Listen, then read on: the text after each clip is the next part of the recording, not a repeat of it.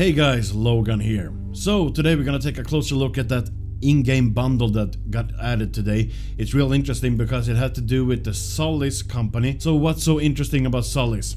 Yeah, Sulis is an organization that dates back all to World War II.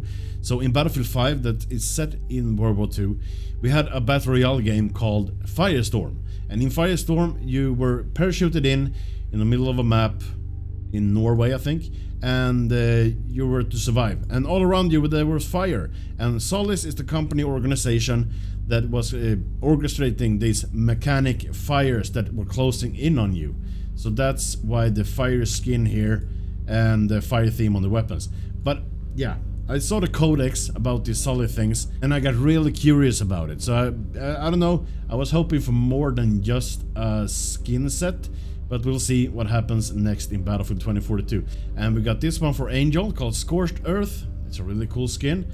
And as you can see on his shoulder there, this says Sulis. Yeah, with fire in the skull. That's pretty cool.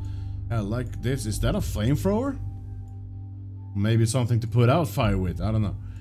And this one is for the MCS 880. That looks really good. Look at the muscle of that thing. Yeah, uh, the other one here is for DFR Strife, that's an LMG. That looks really good. And this is for the Draugr, the latest yet, or the bomber, Rise from Ashes. And here we have a weapon charm called Ember, and this is a play card called Firestarter with that skin on it, that's Angel. And this is a play card tag called the Brandon. But that will do it for this video. Thank you so much for watching. Comment down below with your thoughts and subscribe for more.